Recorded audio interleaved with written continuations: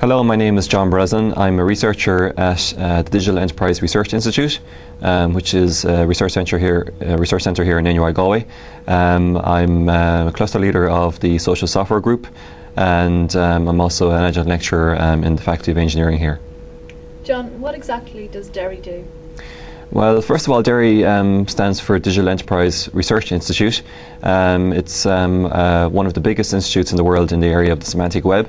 Um, here in Galway, we have uh, nearly 80 people, um, including staff and students, working in this area.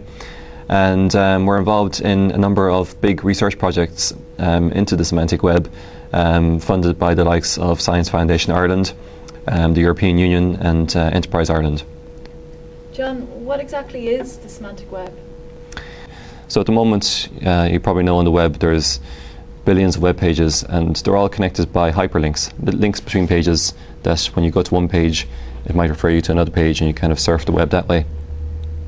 But there's very little meaning defining what the links between pages mean. So let's say there's a page talking about um, the author James Joyce and you look through his page describing his career and so on and there's a link from his webpage to uh, a book that he wrote, let's say Ulysses. Um, there's a little connection between those two pages, but it doesn't say what the connection is, and it might say it maybe in the text somewhere, but it's not in a way that can be picked up by machines to understand.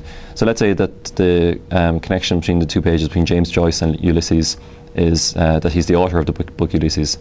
The aim of the semantic web is to add meanings like that to these connections, and also to add um, what's called metadata to web pages or data about data so that um, computers can understand them better and also they can help people to find information in, a better way.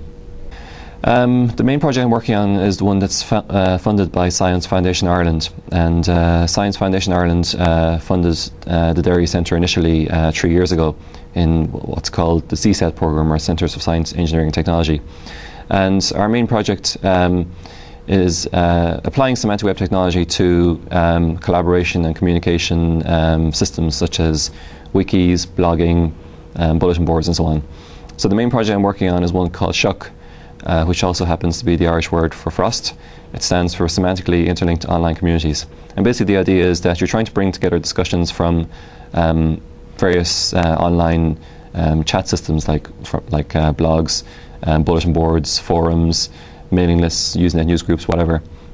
So, for example, let's say you want to find everything that I've written over the past 10 years, for example, on different discussion systems, or you want to find everything that um, I'm interested in, maybe from topics I've written about, and also things that my friends are interested in through connections that are between me and uh, people in my online social network.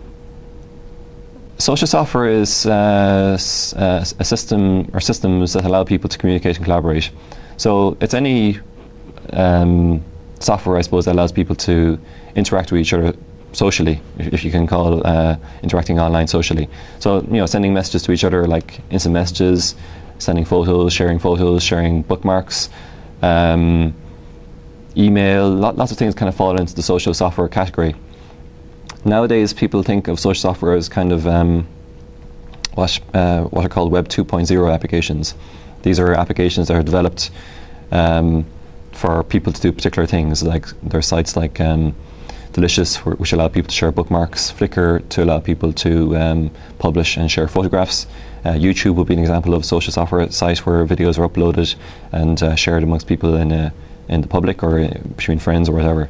So, um, yeah, I, I, guess that's a, a, software that allows people to um, interact socially online.